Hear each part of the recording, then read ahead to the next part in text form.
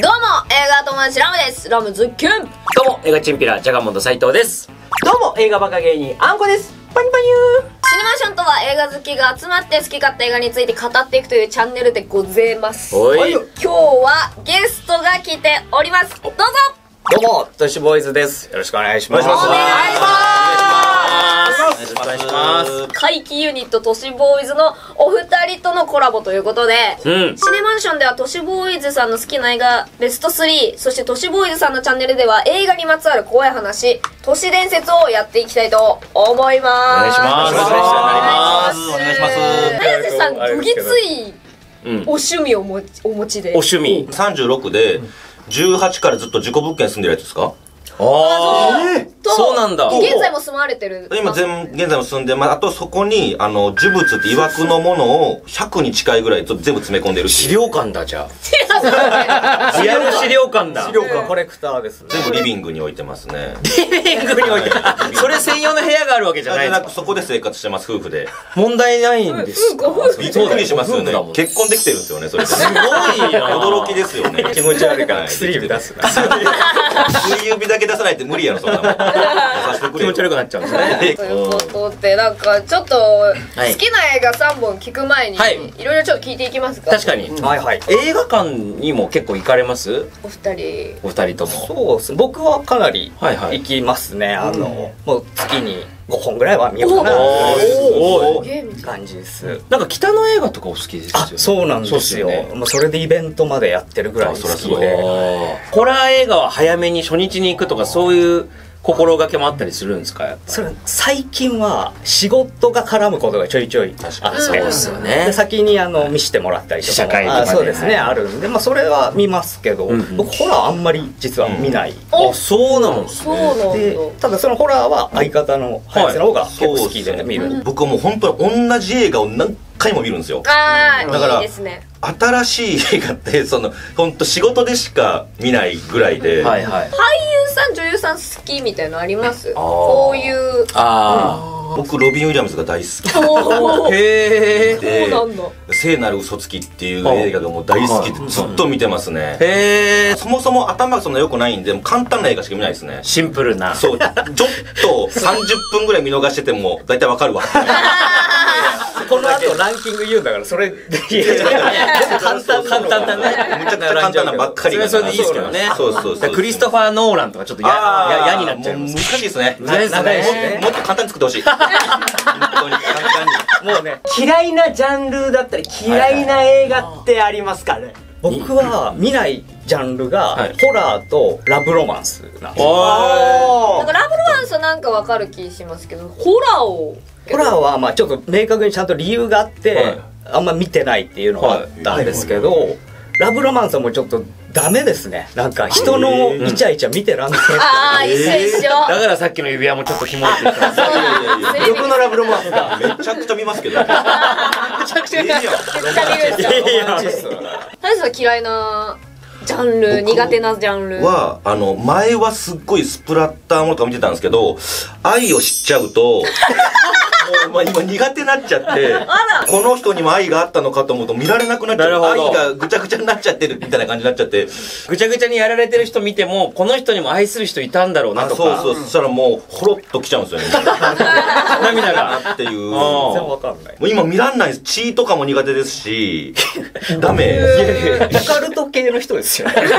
ですよね。チャンネル成り立ちますよ見ないなんかもう。血がダメな人とホラーダメな人が都市ボーイズを大丈夫。すごいな。好きなジャンル1個選ぶとしたらあります？僕は多分あれですね。あのスリラーとかサスペンスみたいな。最高。ホラーというよりかはそっちの謎解きとかの要素が入ってたりドキドキする。スリリングなうん。だと思いますね。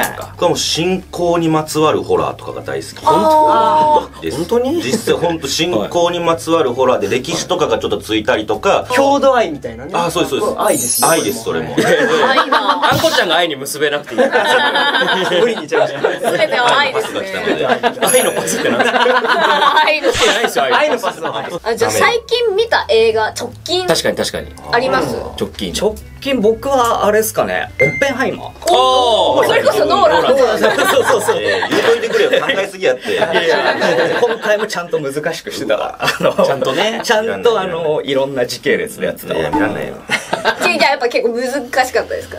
まあでもそうですねなんか、うんクリストファー・ノーランって見た後に変な気持ちにさせるのそうじゃないいつも、うん圧倒されますもんね。今回も全く同じで、うんもう見終わった後どう思えばいいんだろうみたいなのがすごいズシンって残る感じで、うんうんうんこれでももう一回ちょっと見たいですねちゃんと3時間なんでノーランって体力いりますけど一回じゃ厳しいっすもんね、ノーランはね。繰り返し見ないとっていう。僕理由があって最近ずっと見てるのはレオン。おラムちゃん大好きな。ラムの大好きな、僕大好きでその最近ピアノ始めたんですよえー、愛だ。ピアノ始めて。そうそう愛でピアノ始めて。ピアノが。人間らしい愛。ですよねスティングの「シェイプマイハート。はいはい。はいあれを僕弾きたくって。でピアノで弾いててレオンを見ながらもうこっちも弾くみたいなのは。うわめっちゃおしゃれな。レオンが先生なんだ、ピアノの。そうそうそうそうレオンそれを呪物だらけの部屋でやってるそうそうそうわけわかんない。もう気持ち悪いついてる霊とかも。どんな気持ちで戸惑うよね。ね日本人形とかどんな顔してんだろうね。でも日本人形を横に置いてやってますね。は いオーディエンスやっぱいないとダメなんで。呪物をオーディエンスだと思ってオーディエンスとして見てますね。もう末期じゃないですか。なんだ 怖いよ。な罰当たりの紙一重愛です。愛。じゃあ早速聞いていきますか。いっちゃいますか。木本さんから、はい。じゃあ、第3位お願いします、3位ソナチ。おおー！いきなり、たけし映画たけし映画はい。だ。ちょまあもうランキング選ぶってめちゃくちゃ難しくて。難しいですよ。すいませんほでまんとあどこを基準にって思った時にやっぱその僕に影響を与えてるはい。とかそういうところをにしようかなと思って。そしたらそのやっぱ北の映画ねさっきはい。あのおっしゃっていただいたんですけど僕はい。好きでして。うん。でソナチネってまあ僕の年齢ぐらいでははい。映画館ではほぼ見てる人いないんですよ。なんですけど今年はい。あのちょっと復刻というか映画館でやってたんですよ。文芸座とかで。はい、文芸座でやってて、で、そこを見に行ったんですよね。うん。したらもうあの、立てなくなるぐらい、なんか改めて衝撃を受けて、おやっぱ北の映画って北の映画でしか見られないというか、感じることができない感覚を味わえる感じがすごいあって、うんうんでそれの最たるものが多分恐怖なんですよね。なるほど。北の映画の恐怖って他の何物にも変え難いというか、で僕あの歌舞伎町出身っていうのもあって、はい。めっちゃ。すごい。この人ってここまで軽口叩いたら怒るんだとかの、はいはいはい。はいはい。そうリアルにその一言一言で自分の生死が決まるみたい。な感じっていうのがリアルなんですよ。あ。ソナチネはしかも特にその名シーンみたいなのがいっぱい詰まってて、どこ切り取ってもやっぱすっごい印象に残ってるんですよね。なんで北の映画の中でも大好きなやつっていうので、え、その好きなシーンとかありますか？一個選ぶとしたら。一番怖いなと思ったのはあの沖縄に行って、はいはい。はいであの寺島さんと勝村さんが、あのはいちょっとキャッキャやってて、浜辺で。はいはいはい。はいありましたね。そのキャッキャやってるっていうのもあの銃を使ってキャッキャやってるんですよね。であの頭にウィリアム・テルみたいなのやってとかってやってるところにたけしさんが来るんですよ。来てはいはい。でちょっと俺にもやらせろよみたいなことを言って、であのロシアンルーレットが始まるんですけど、うん。あれのもうマジ感というか、うん。もう次のシーンには惨劇になってるかもしれないっていう緊張感、全然なんかほのぼのしてるシーンではあるんですけど、めちゃくちゃ怖く感じて、なんかああいうところにすごい恐怖が詰まってるなと思って。確かにな。すっげえ覚えてますね。いいっすね。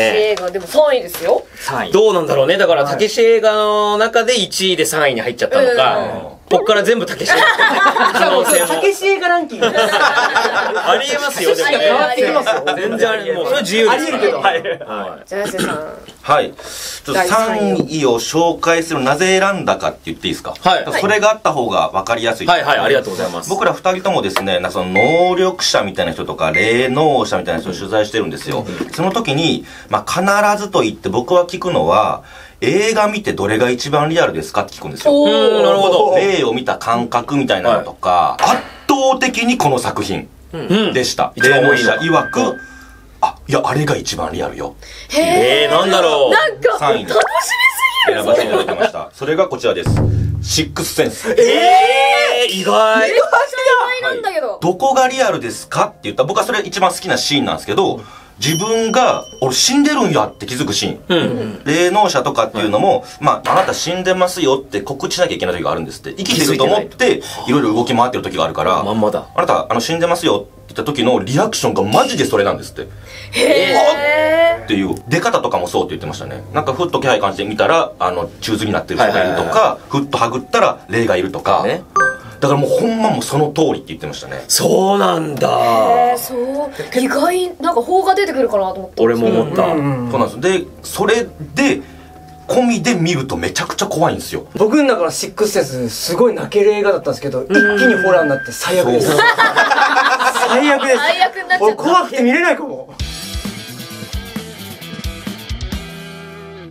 とね、オカルト系やってる人で、これ出す人なかなかいないんじゃないかなっていうやつなんですけど。おマジ？はい。2位、はい。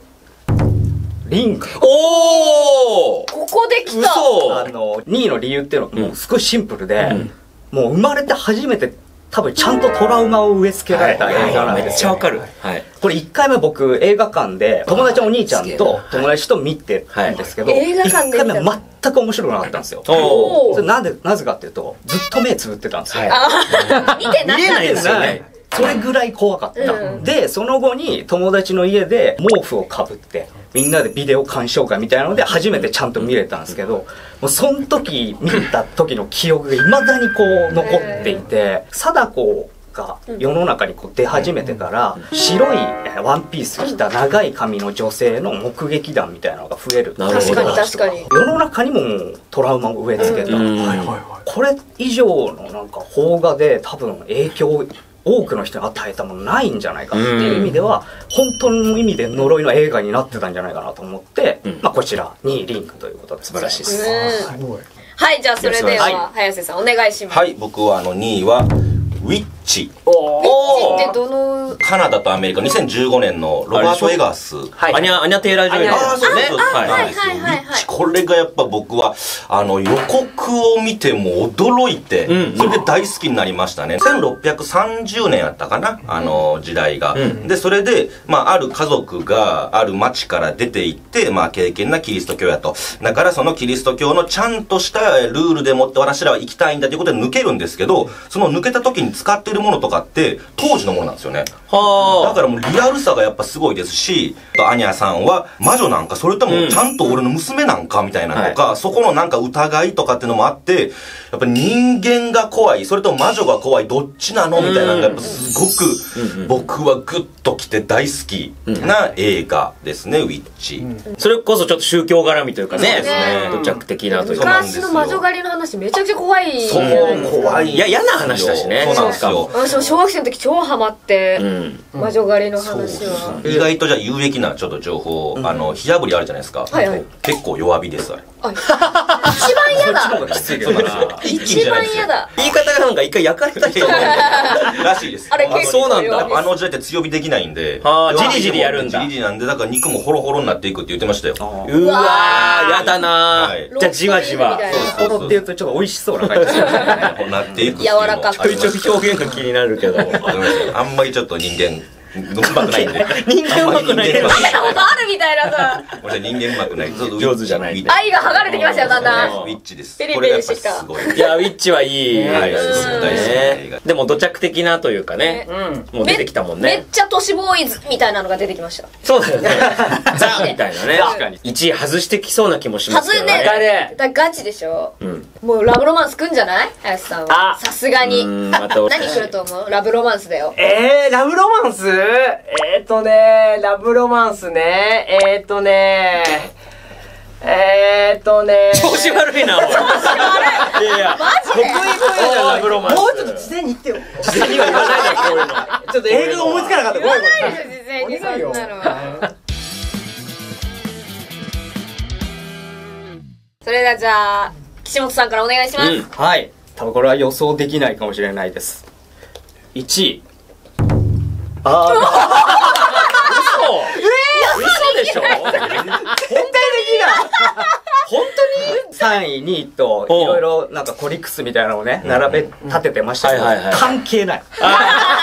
これこそが1位っていう感じ。でも要は、まあわかるけど。直球ですもんね。なんていうんですかね、僕映画に求めてるものなんだろうなってうん。ずっと思ってたんですけど、それでしかできない体験をするっていうのが、うん。僕の中ではかなり大事なんだなって思って、で、RRR に関しても結構近年じゃないですか。はいで、まあ最近でここまで熱狂できたものってないなと思ってたんですよ。何がだから一番良かったのかっていうと、ナートゥのダンスをやるんですよね。結構まあ結構序盤っちゃ序盤なんですけど、うんでもあれに至るまでもすでにもう口あんぐりですよ。なんだこの映画はってなってるところで、ナートゥのダンスが始まった時に、本当今まで体験したことないことが起こって、うん。口ですげえ笑ってるんですけどお、涙ボロボロボロって、あエンタメをはいはいもう無理やり抽出されすぎて、ーはいはい。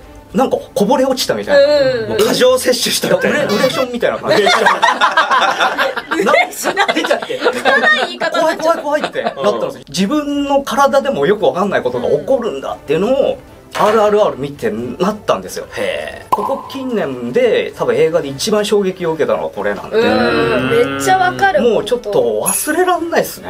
うん。すごいな、1位あるあるある。ね これは分かんなかった。わかこれは絶対当てれなかった。じゃあ、早瀬さん、おお願いします。僕の1位はこちらです。女神の継承。おー出たド直球の。割と同じ年代じゃない？二つとも。近いね。あそうですね。そうですね21年近いですねとかうんうん。これ僕あの、タイのイサン地方なんですよね。で、モクメンタリーやったかな。まあタイのカメラマンたちがぐーっと行って、で、あるその女神を継承する家族をずっと追っかけるって話なんですけど、好きすぎて、現地行きました。聖地巡り、君の名の階段行くみたいなことですよね。タイのイサン地方に行って、実際に女神じゃないんですけど、いろんなその信仰しているところは見させていただきましたし、で、あとちょっと怖かったのが、3人でぐるぐる回ったんですよ。で、イサン地方で何もないとこなんですよね。どっかなんか観光地ないかなーって言ったら、ある湖があるんですよ。綺麗な湖があって、ほなそこに行きましょうかって言って、朝から行って6時ぐらいやったかな、えー、3人と、まあ、おっちゃんで船乗ってぐーっと行くんですよ。ほな結構騒ぎすぎちゃったのか、ちょっと怒らしちゃって、まあ、興奮してて、まあ、すごい素晴らしい湖やったからいうことで興奮したんですよ。んしたらその、急に島行くかって言い出して、あれ？怒って？なそしたら湖のほんまに奥の方にちっちゃく島があって、で島行くんですよね。他にも観光客たくさんいて、20から30ぐらい船あったんですけど、僕らしかその島にたどり着いてないんですよ。ほえ、これ観光地かほんまにって思いながら汚いんですよね、そこも。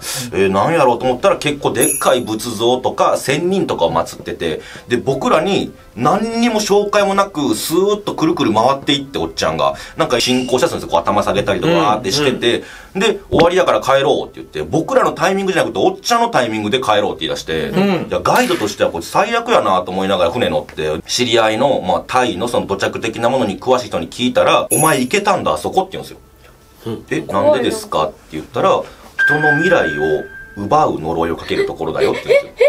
人の未来を奪うところ、え呪い？えちょっと分かんなくてどういう意味か、どういうことですか？いや俺も何回もあそこに行けって言ってんだけど行ってくれないんだよと。どういうふうに奪うんですかって言ったら未来を見る見通すっていう仙人を祀っててその力を使って未来を見据えてそして未来を奪うっていう呪いをかけるところで,、ん。でそういう目にちょっと体験しちゃったって話もあって女神の継承本当にそういう信仰が 遺産じゃあ、あの、入ってこない。映画入ってこないです。急に都市ボーイズ始めないでくださいよ。やっぱ遺産地方すごいなでそこに目をつけるっていうのもすごいし確かにしかもなんかフェイクドキュメンタリーじゃないですか。はいで、本当に、あの、馴染みない土地の馴染みない宗教の話出てくるから、はいマジじゃんみたいな。そうですねこう、何が現実で本当で嘘かが結構わかんなはいいくなりますもんね、これ。で、地区は違うんですけど、きちっと女神を信仰してる地区もあるんですよ。はいはいはいバンコクの近くとかに。だからそういうのもちょっとやっぱり監督さんは全部勉強してそこに入れたのかなと思ううんとなるほど、いや、これはすごいと思いましたね。いや、すごいなぁ。ちなみにあの、先ほど林さんが好きなものはもう何回も何十回も見るっておっしゃってましたけど、はいどのぐらい見ました？この3本。これに関しては、まあ一回、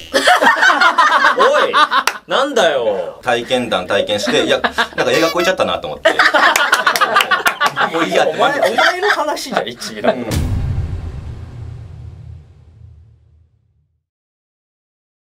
ィッチはもう、おいそれ見てます。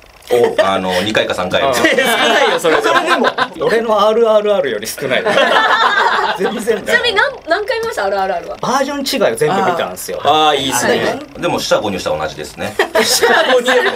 そんな一桁でするもんじゃないですよ、下5入同じなんで。